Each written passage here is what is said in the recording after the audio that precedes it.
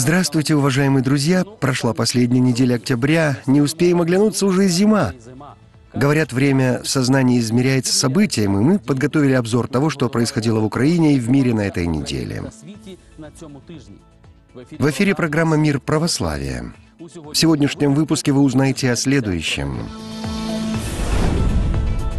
Юбилей столичного прихода, десятилетие храма в честь Иерусалимской иконы Божьей Матери. Иверская икона Богородицы «История образа». Фестиваль «Благая вратарница», праздник в честь Пресвятой Богородицы. Вспомнить предков в молитве, родительские поминальные субботы. В день рождения святой на молитву в Гефсиманию паломники из Украины и Белоруссии и Иерусалиме.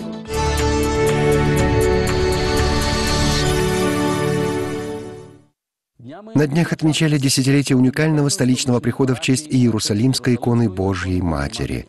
Там помогают спасать не только души, но и тела.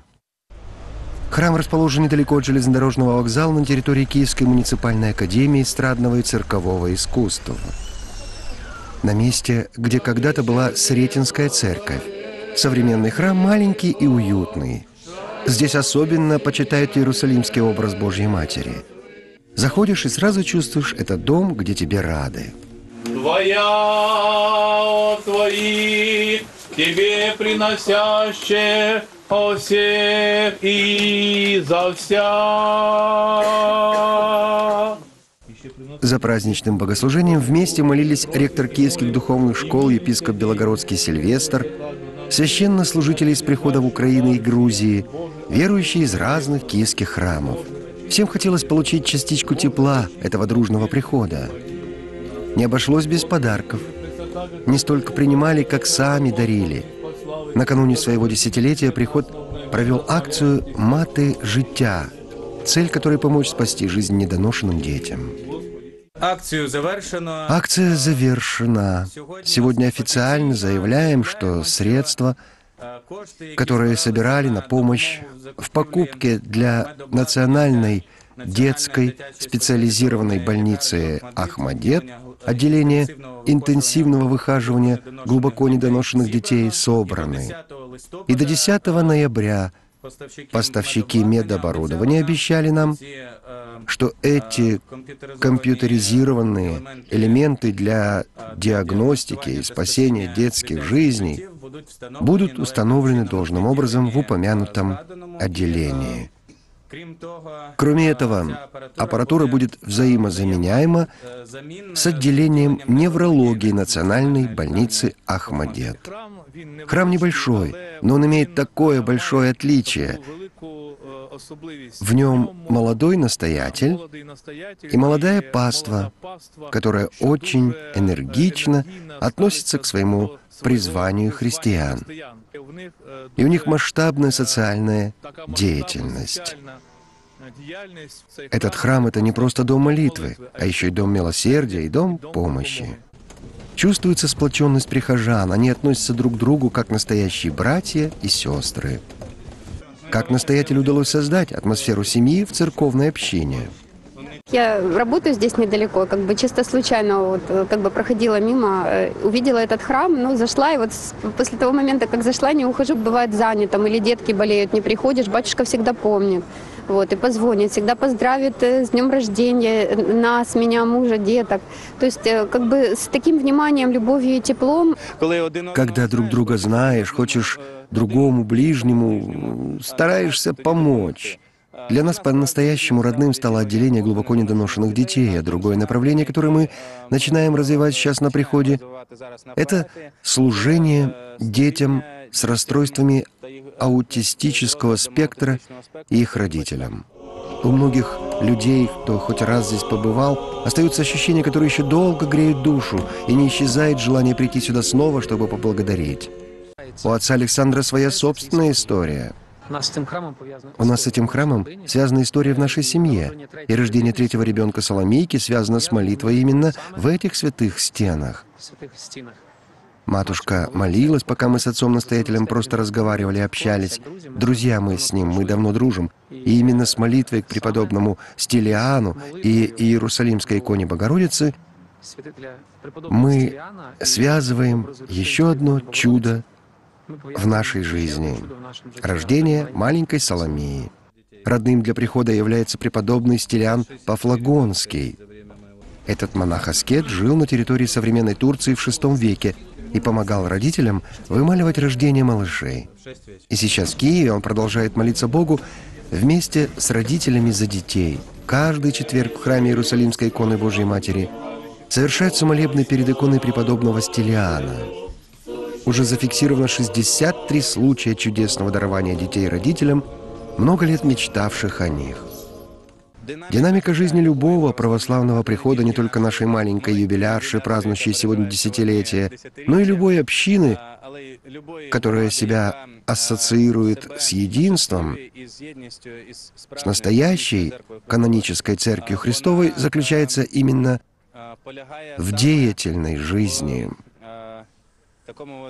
когда мы имеем, как на греческом говорили, кенонию, общение, и это общение дает вдохновение не только для молитвы, но и для милосердия.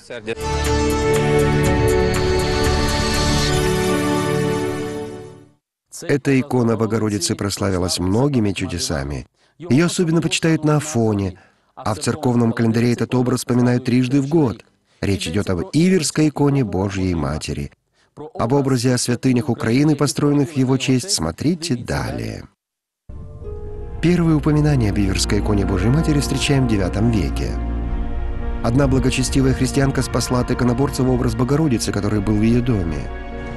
Женщина опустила икону в море с молитвенным прошением при чистой деве, чтобы та позаботилась о святыне.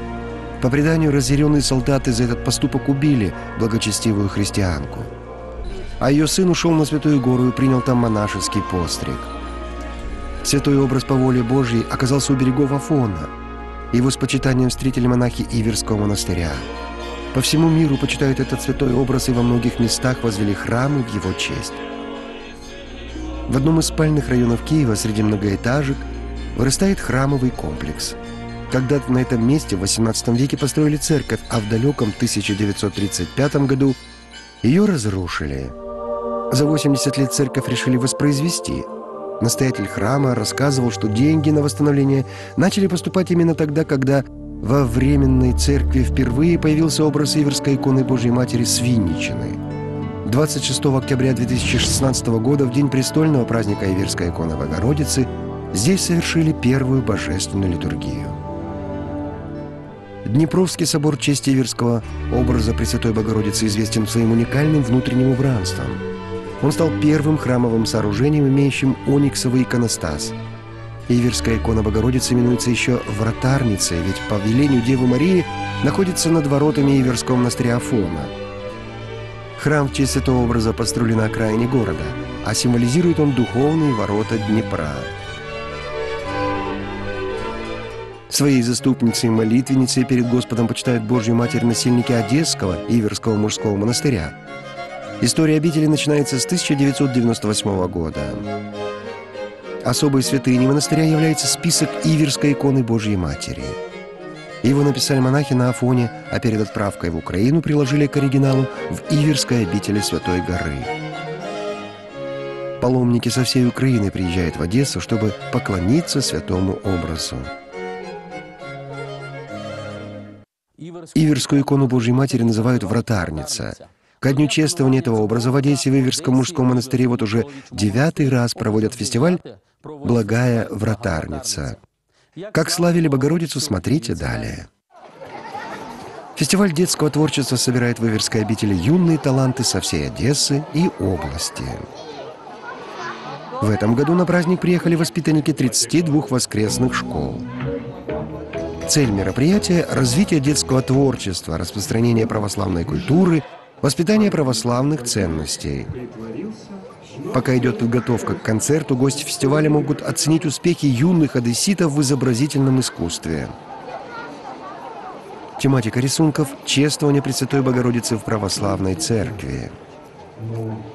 И пусть не все из авторов рисунков потом станут художниками, но умение замечать прекрасное и передавать его в своих произведениях несомненно, благотворно влияет на развитие личности юных талантов. К музыкальному фестивалю участники готовились основательно. Для некоторых хоровых коллективов выступление на таком мероприятии стало дебютным, а кто-то уже не первый раз выступает на этой сцене. Мы в этом году первый раз приехали, так как школа у нас молодая. Мы только год работаем, второй год. Вот, и мы решили поучаствовать в фестивале воскресных школ. Ну, мы приготовили песню, посвященную Божьей Матери, так как тематика фестиваля все-таки букет для Божьей Матери. И э, у нас еще изюминкой будут выступать мамы наших детей, тоже с песней, посвященной Богородице. Мы с радостью каждый год приезжаем на праздник помолиться, э, посмотреть э, другие воскресные школы, чему-то поучиться, чего-то перенять какой-то новый опыт. Готовились мы, как обычно, что-то есть из наработок с прошлых годов, что-то есть новенькое. Ну и так детки, каждый вносит свою лепту, э, свою любовь, э, значит, учат э, стихи и изучаем тоже новые песенки, славословия. Участники порадовали репертуаром и исполнением. Различные музыкальные стили, композиции, номера.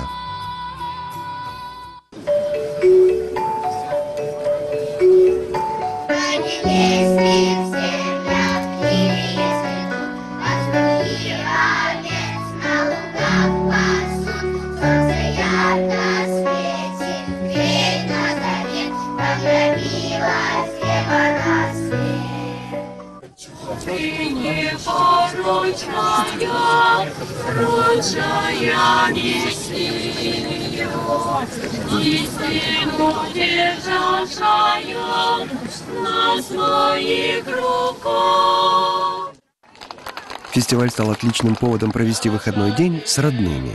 Прекрасный день солнечный, хорошее настроение, все замечательно. Мне очень понравилось, море радости, дети прекрасно выступали.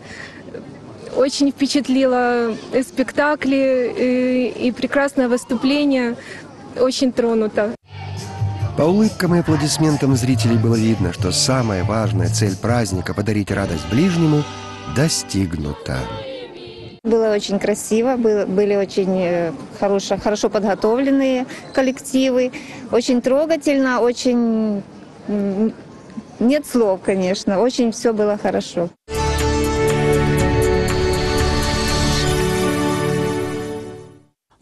Как румынская церковь заботится о сохранении села и насколько языков переведена Библия. Об этом не только вы узнаете в международных новостях.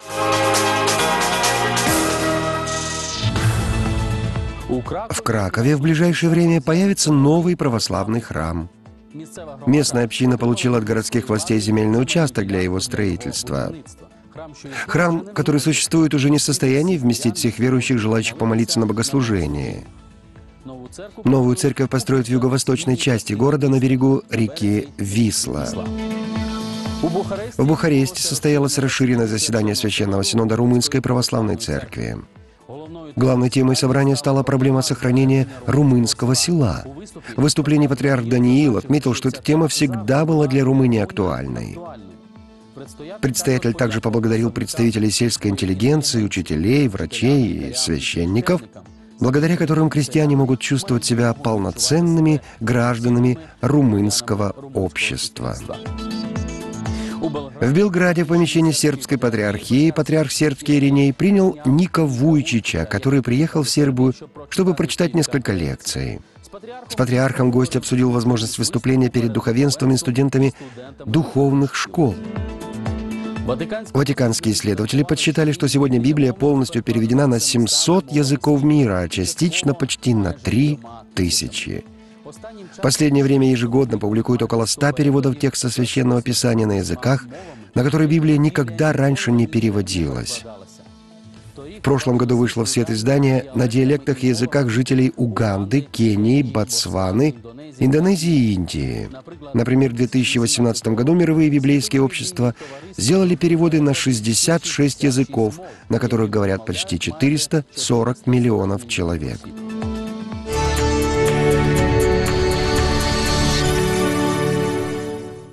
На начало ноября приходится родительская поминальная суббота. Она называется Димитриевская и отмечает ее в ближайшую субботу ко дню памяти великомученика Дмитрия Солунского. Это последняя поминальная суббота в этом году.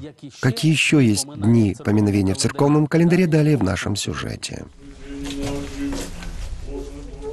Память об усопших родственниках, друзьях и близких – важная часть христианской веры. Поминальные молитвы есть в древних литургиях Иоанна Златоуста и Василия Великого. Православные молятся за своих родных в ежедневных частных молитвах.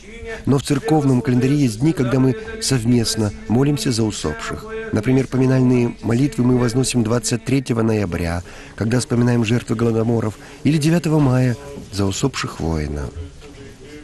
Но есть и особые поминальные дни родительские субботы. Лейтмотив всех заупокойных молитв – прощение грехов.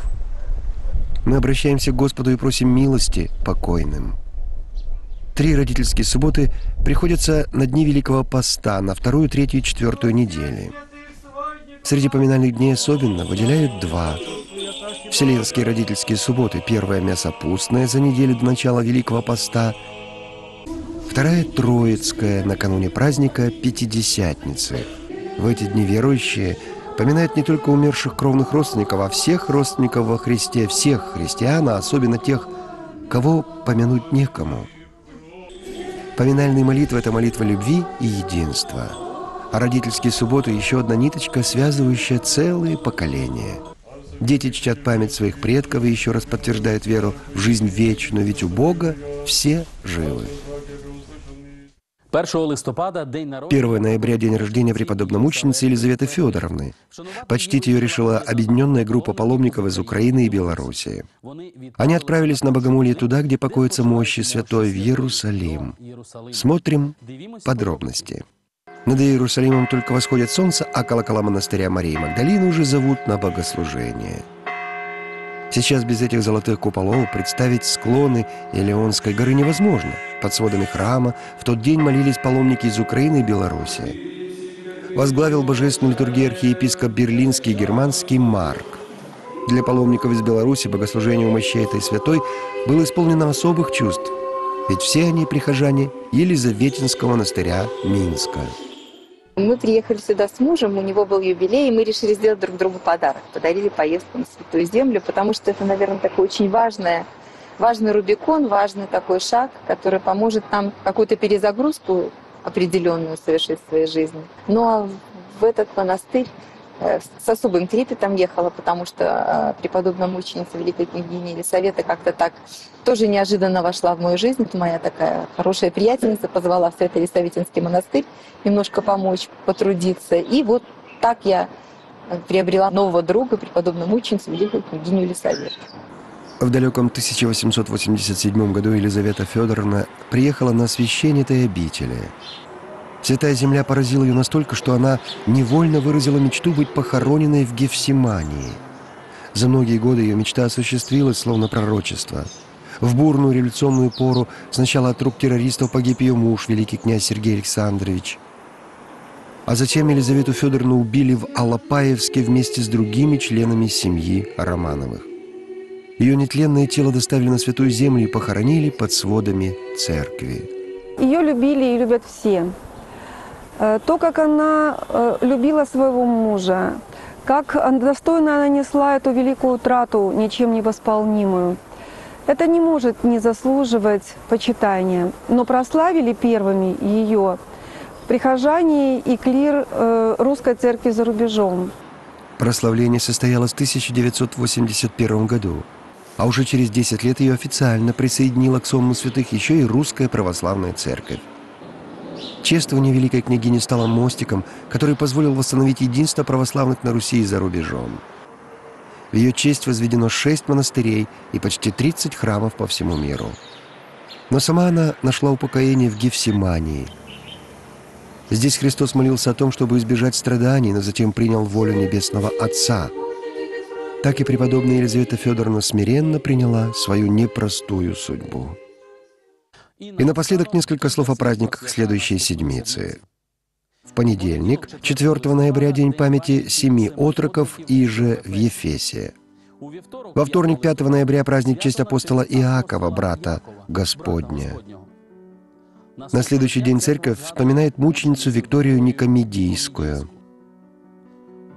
В четверг, 7 ноября, чтим святую первого века праведную Тавифу. В пятницу, 8 ноября, день памяти преподобного Дмитрия Солунского. На субботу приходится праздник в честь преподобного Нестора Летописца, небесного покровителя киевских духовных школ.